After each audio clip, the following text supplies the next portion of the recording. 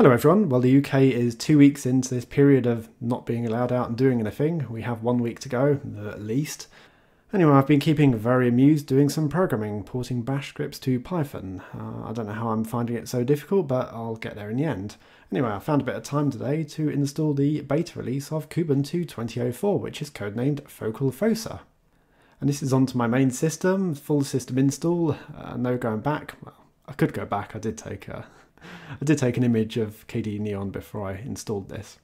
Anyway, I've been finding a few glitches recently with KDE Neon, so why not give it a go? Can't be that bad, can it? Maybe it will be. So for once, the planets seem to have aligned.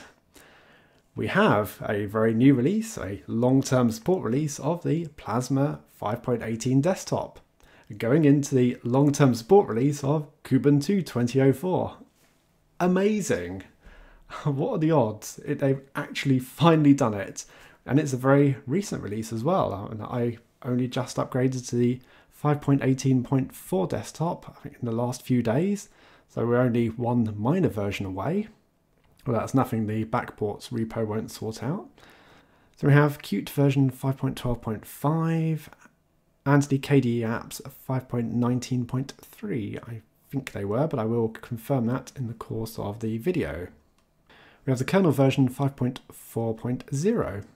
I've not checked what is the recent version of that, but I hoped one item would work a bit better for my hardware, the webcam, Logitech Brio 4K webcam. Still not really working perfectly though, not sure why, but I'll look at that in the future. So on the 5th of April, we are currently in the beta mandatory stage, with the April 23rd being the final release. And in terms of the changes for the Kubuntu beta, well, let's have a little look through. So yes, we have the 5.18 desktop. I'll mention a couple of changes with that, but I've done a whole video on it really, so I don't want to go too far into it. Yeah, KDE apps 19.12.3, well, I guessed correctly, very good.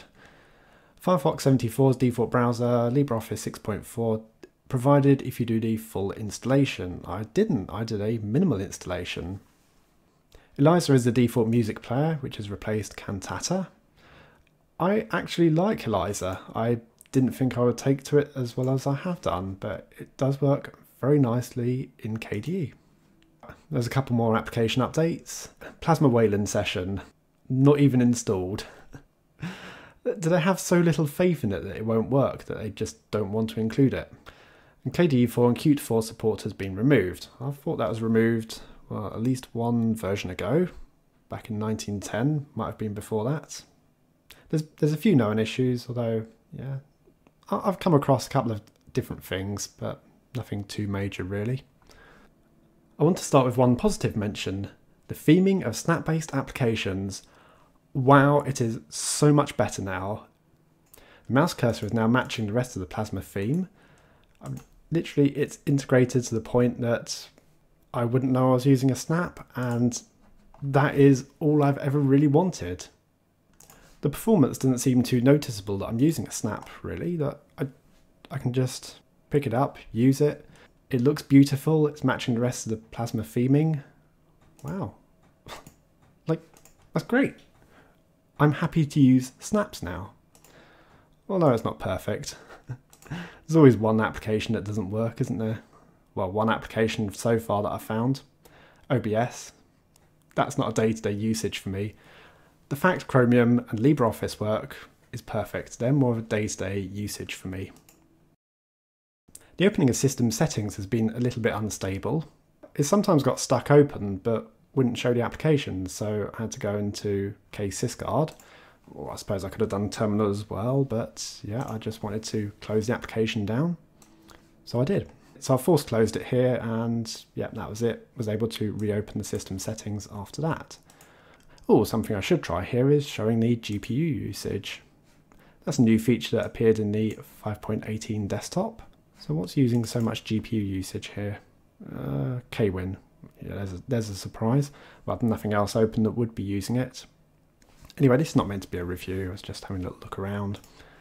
Something I noticed that was missing is the K-user feedback. Um, probably the less said about that, the better. But yeah, that would be under personalization and feedback.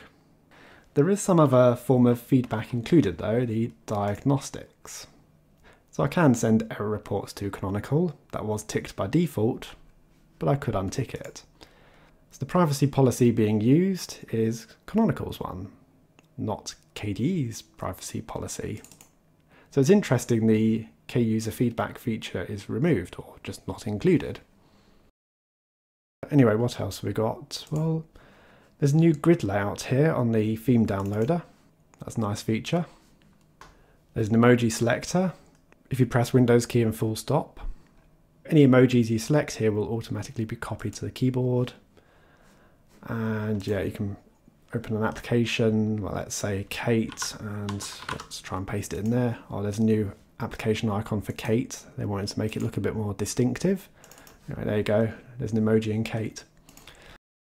Anyway, as I said, I don't want to make this a full review. This is just me messing around in the beta, and other than the system settings not opening properly, I've not really found any other problems. One bug I do want to keep an eye on, which I was suffering in KDE Neon, is the font sometimes skews here in the window title bar. When I was resizing the window, it would literally just change size according to the window, as if it was being stretched along with the application I'm looking at. I've not seen it yet in Kubuntu, but I might need to give that a bit more time. Anyway, that's a quick look at Kubuntu 2004 beta. Thanks for watching, see you all later.